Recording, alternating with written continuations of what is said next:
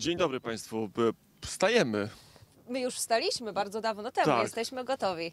Trochę się zawahałem, bo to ostatni dzień i tak trudno powiedzieć was ostatni. Wstajemy tutaj nad Zegrzem, niedziela, 5 maja, majówka. Powoli dobiega końca, ale przed nami piękny program, bo jeszcze jest po pierwsze słońce, jest pogoda, jest zalew e, zegrzyński, e, więc my jeszcze nie śpiewamy. Już kormorany odleciały stąd, wręcz przeciwnie, e, wszystko co dobre dzisiaj przed nami. A co w programie? Łukasz Jankowski, A właśnie. I do tego jeszcze Paulina Moroza, to może się przedstawmy. To będzie dobry ruch na początek, a teraz zobaczmy, co będzie w programie.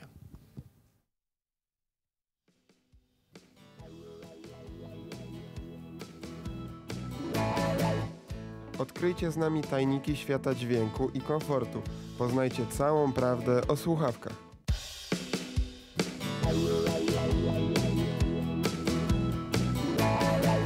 Wianki na komunie to nie tylko ozdoba na głowę, to prawdziwe dzieła sztuki.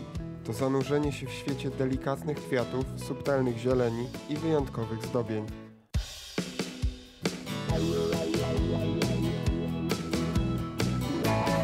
Strażacka służba to więcej niż tylko praca. To powołanie, pasja i oddanie. Za chwilę poznacie Państwo tajniki tej misji.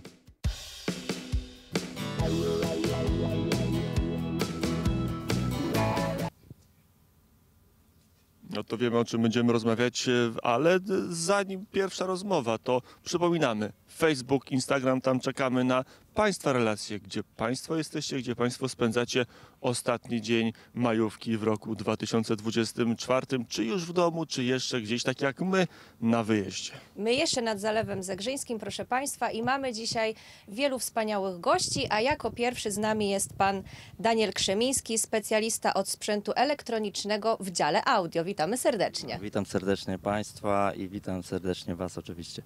E, technika i przyroda. Będziemy to e, dzisiaj łączyć. E, I podstawowe pytanie. Czy warto, bo czasami coś wyjedzie, majówka, coś się zepsuje, dziecko nadepnie na słuchawkę na przykład i pytanie, wyrzucamy do kosza, czy naprawiamy?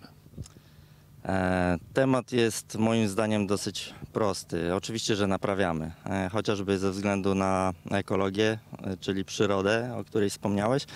E, dlatego, że mm, hałdy, że tak powiem, e, elektroniki, która się zepsuła, zużyła, e, są coraz większe. E, rynek jest tak nastawiony, że mm, kupujemy, zużywamy, wyrzucamy, kupujemy następne, tak? No właśnie, ale czy jest co naprawiać? Bo tak naprawdę, jeżeli kupujemy elektronikę, to wielu z nas, wielu z Państwa pewnie ma takie odczucie, że to wszystko są produkty jednorazowe, że tak są produkowane, e, żeby służyć jak najkrócej, oczywiście uwzględniając czas gwarancji, żeby się zepsuć idealnie na 2-3 dni, kiedy ta gwarancja minie. No, No właśnie, dokładnie. jak pan ocenia tą trwałość tych E, współczesnych No produktów? czytasz w moich myślach. E, Generalnie jakość aktualnie jest na dość, dosyć niskim poziomie. Jeśli chodzi o współczesny sprzęt elektroniczny, jest to produkowane masowo, no ale zapotrzebowanie jest spore, więc e, jakoś to trzeba ze sobą pogodzić. E, Ja wam podam na przykład, e, na przykładzie okablowania, e, ponieważ e, Aktualnie sprzęt jest tak robiony, żeby e, wytrzymał czas gwarancji, a potem to już jego historia zazwyczaj kończy się na śmietniku. Więc e, wracając do Twojego pytania, e, sprzęt oczywiście ten taki e, powiedzmy w, w segmencie do 1000 zł i wyżej oczywiście jak najbardziej. E, Tańsze produkty typu nie wiem słuchawki za 15 zł, no to oczywiście tutaj raczej naprawa nie, nie ma sensu. Skórka nie jest warta wyprawki, ale jak rozumiem, ten sprzęt z wyższej półki, bo to on do Oczywiście. pana, do, do, w pańskie ręce trafia. Dokładnie. E, No, słuchawki słuchawkami. Większość ludzi mm, słysząc słuchawki ma na myśli takie słuchawki mm, gdzieś tam w markecie kupione i tak dalej. Natomiast e, świat słuchawek e, jest ogromny. E, poczynając od słuchawek właśnie takich mm, przeciętnych, kończąc na słuchawkach za 50, za 200 tysięcy. Więc- Ale y, groszy.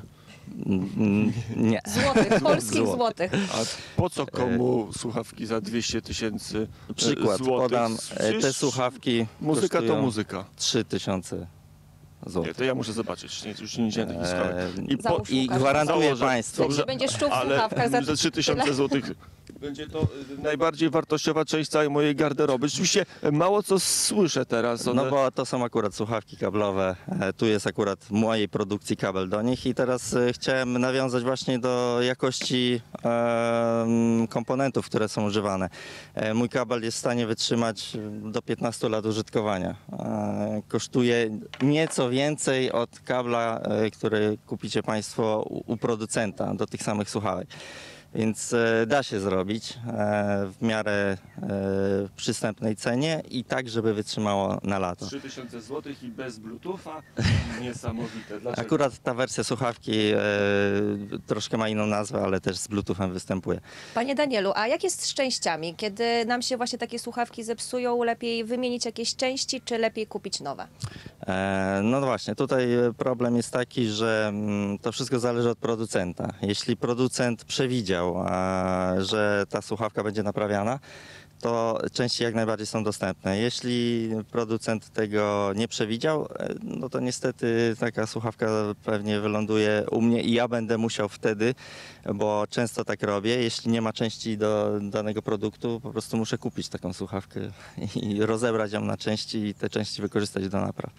Na strony mamy indywidualnych klientów, czyli jeżeli ktoś jest melomanem, jeżeli ktoś faktycznie e, słucha muzyki namiętnie, to, to pewnie droższe słuchawki są mu potrzebne, bo on odczuje różnicę, Dokładnie. ale firmy, czyli te podmioty, które zamawiają tysiące, dziesiątki, setki tysięcy konkretnych sprzętów, tam się myśli o tym, żeby on był naprawiany, żeby on był, jego żywot był przedłużany, żeby nie Eee. kupować i nie wyrzucać. Znaczy, może nie odkryje Ameryki, większość ludzi pewnie gdzieś tam podświadomie to czuje, ale wygląda to w ten sposób, że korporacja, bo to zazwyczaj one e, wprowadzają takie rzeczy na rynek, korporacje są nastawione na zysk. I mm, wygląda to w ten sposób, że E, jeśli dana korporacja chce prowadzić na rynek e, daną słuchawkę, to zamawia u, e, w fabryce, powiedzmy, nie wiem, 50 kontenerów takiej słuchawki na jakiś obszar na naszej pięknej, kochanej ziemi.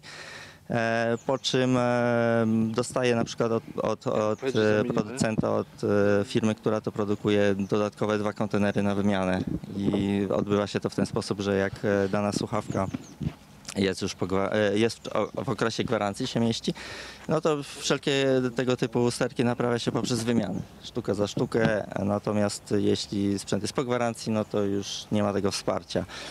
I teraz e, dla takiej firmy bardziej się opłaca po prostu e, wymienić to, niż e, utrzymywać serwis i, i to naprawiać. Ja pracowałem w wielu serwisach i mogę z czystym sumieniem powiedzieć, że, że każdy serwis to taka trochę kula u nogi firmy, która jest dystrybutorem.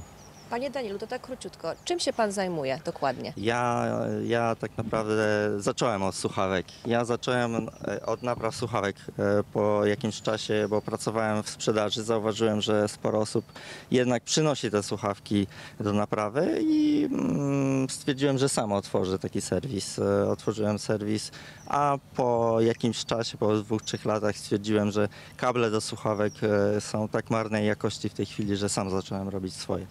No i tutaj macie przykład e, tego typu Ma- właśnie tak, produktu. Nie manufaktura, ale warsztat rzemieślniczy. Pytanie, czy, czy, ta, czy, czy rzemieślnicy jeszcze mają szansę się utrzymać w świecie globalnej e, produkcji mm, kontenerów, które A, wiesz- tysiącami płyną z Azji do, do, do Polski, do Europy. Wiesz, ja czasami mam takie myśli, że to wszystko zatoczy koło, cała ta historia. Że zaczęliśmy od rzemieślnika i skończymy na rzemieślniku, bo w pewnym momencie ludzie coraz bardziej się przekonują do wyrobów rzemieślniczych. Em, zna Pani jakiegoś szewca? Ja znam Ja- rzeczywiście, e, czasami nawet odwiedzam m, szewca i to jest, ale to są towary z wyższej e, półki. Zobaczymy. Ja nawet bym chciał wrócić do świata, gdzie e, ci rzemieślnicy znowu będą siłą.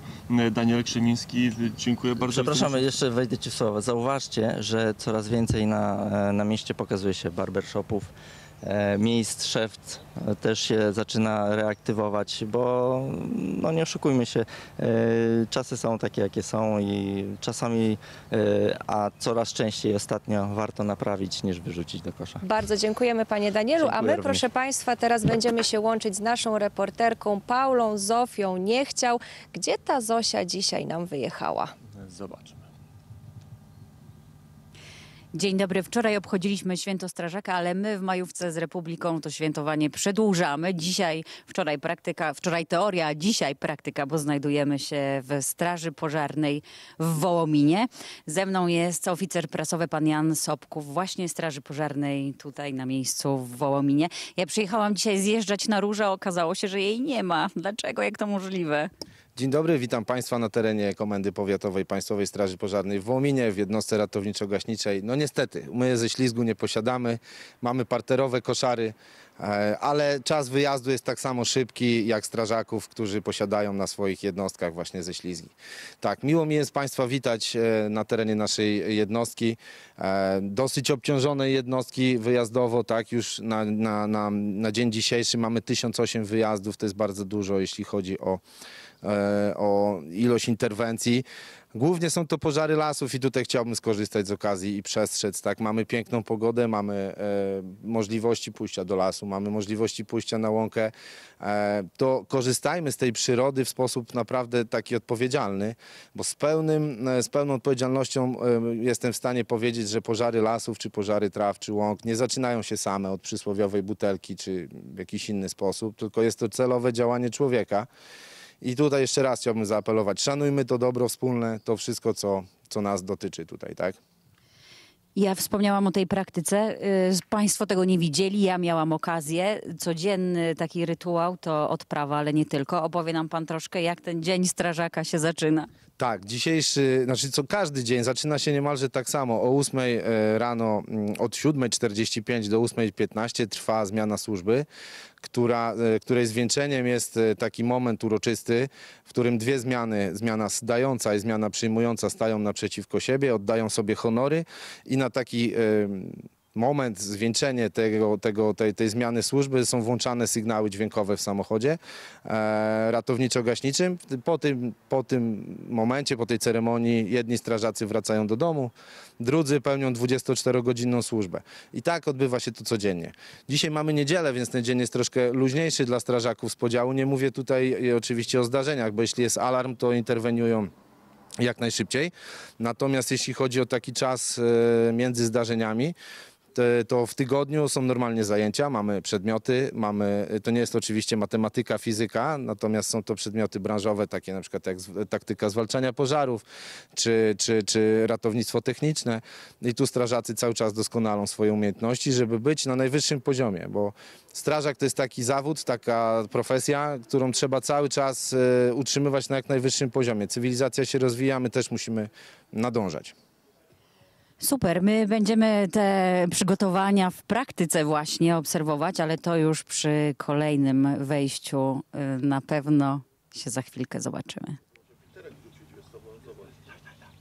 I to e, była nasza relacja z Dnia Strażaka. Obyło się bez pogłosu i innych e, kłopotów. W Dzień Strażaka może być niefortunny, dla co po niektórych, o czym się... gorąco. Może być gorąco, o czym się pewien polityk wczoraj przekonał.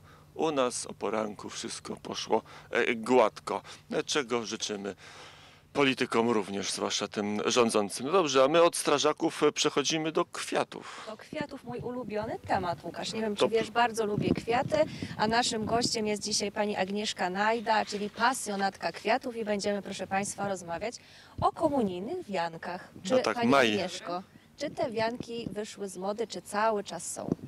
Janki cały czas y, są w modzie. One tak naprawdę od dawien dawna kiedyś y, zdobiły głowy niezamężnych panien. Dzisiaj są symbolem i ozdobą głów dziewczynek, które przystępują do pierwszej komunii świętej. Także są cały czas w modzie. e, są w modzie No i to już widać, mamy dwa wianki u nas na e, stole. Który wybierzesz? Bo mamy e, trochę różowy i mamy e, biały. Ja wybieram różowy, żeby pasował mi dzisiaj do koszuli. No już się pasuje. E, Kolorystyka, e, co w tym roku będzie modne. Klasyczna biel, czy można trochę poszaleć? Klasyczna biel zawsze jest w modzie, chociaż y, staramy się już powoli stawiać też na pastelowe odcienie. Czyli tutaj mamy blady róż łączony z delikatną, subtelną bielą, więc w modzie też jak najbardziej jest blady róż. No, czyli jeżeli jakaś dziewczynka będzie chciała mieć trochę bladego różu, to nie jest to fopa, nie będzie to nie tak na pierwszej Nie, komunii. nie, nie. Pani Agnieszko, a jakie kwiaty wybrać? Jakie są najlepsze, jak, które są najbardziej trwałe? Najbardziej tradycyjna jest gipsówka, z której można zrobić przepiękny, subtelny, delikatny wianek. Jest również zatrwian, który pięknie nam się zasuszy. Mamy również limonią, zieleń, którą możemy również ozdobić taki wianek. Może, mogą być to też konwalie. Tak, może być to kalansze, kalanchoe, które ma Pani też tutaj u nas w wianku, e, łączone z limonią. Może być to też również stokrotka. Może być to e, również margarytka, odmiana Santini, więc naprawdę tych kwiatków mamy dużo. E, Do wyboru, do koloru. Tak, bo ten wianek musi, przynajmniej wedle tradycji, nie wiem czy Państwo jeszcze tej tradycji przestrzegacie, trochę posłużyć, bo potem jest biały tydzień, to jednak ten wianek Tak. musi wytrzymać trochę.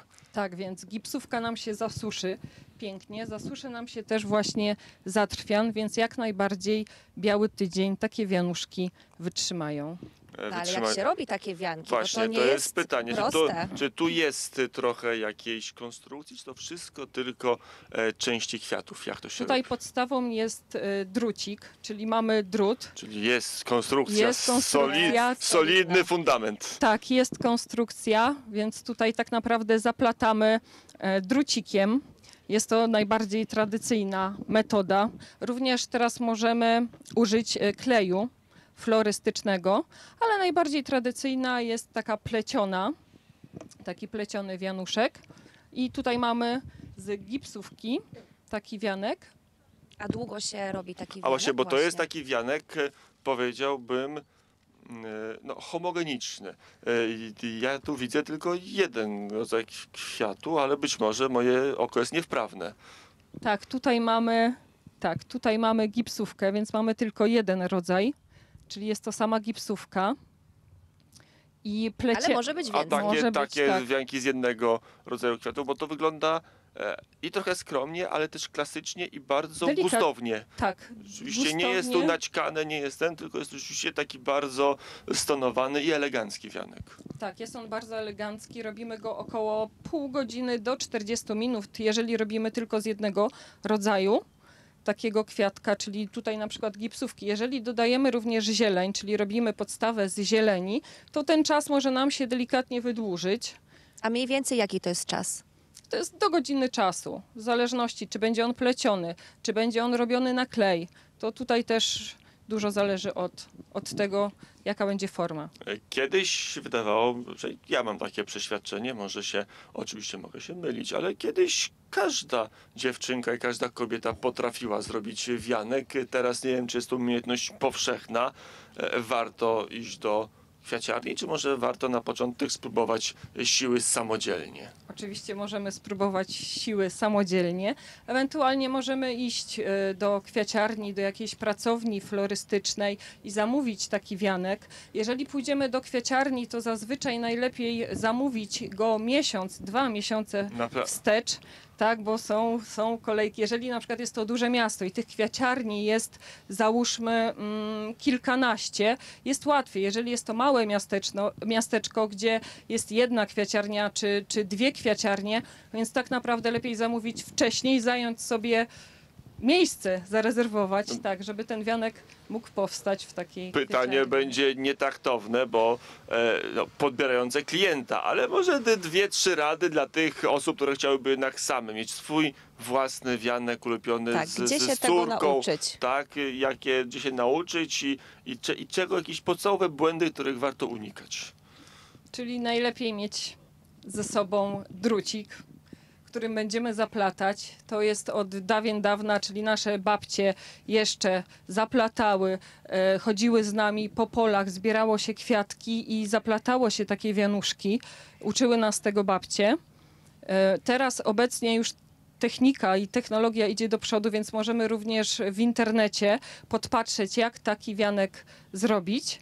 Więc tych metod jest trochę. Ja jestem też ciekawa, czy teraz dziewczynki mają suknie, czy mają alby, bo ja na przykład miałam albę, pamiętam, na komunii, pierwszej komunii świętej. U chłopców raczej bez zmian, ale to prawda. To jest e, ciekawe, bo ta moda e, no, wraz z, Zmienia się tak, ale też z tym, jak się zmienia zasobność portfela wielu Polaków, też, też komunie e, pierwsze wyglądają zupełnie inaczej. Są takie czasami na niezłym wypasie. Tak, to prawda. E, teraz w modzie wcześniej były alby. Obecnie jest tak, że mm, jest krawcowa. Te dziewczynki mają wszystkie praktycznie te same sukienki. Mm, wydaje mi się, że jest to dobre rozwiązanie, ponieważ wszyscy są w jednolitych, tych samych kreacjach. E, taki sam jest rodzaj sukienek, więc jest to dobre Chociaż z rozwiązanie. drugiej strony trochę to zaczyna przypominać taki mini ślub. Jak się patrzy na te małe dziewczynki, to tak jakby e, generalna próba przed e, ślubem. I biała sukienka, czasami szyta na miarę, właśnie od początku, od podstaw, e, czasami dość bogato dekorowane. To wszystko wygląda tak już Tak, przy... bardzo poważnie. Tak, przygotowania do komunii są bardzo czasochłonne. Trwa to wiele miesięcy. No tak, a tutaj najważniejszy jest, proszę Państwa, sakrament. O tym nie możemy zapominać. A teraz zapraszamy Państwa na reklamę. Agnieszka Najda była naszym gościem, dziękuję bardzo. Dziękuję. A teraz e, krótka przerwa, zaraz potem wracamy e, tutaj do naszego studia nad e, Zalew Zegrzyński. Będzie ciekawie, bo porozmawiamy z kwiatami, od kwiatów przejdziemy do całych ogrodów, więc idziemy od szczegółu do ogółu. Za chwilę wracamy do naszego studia.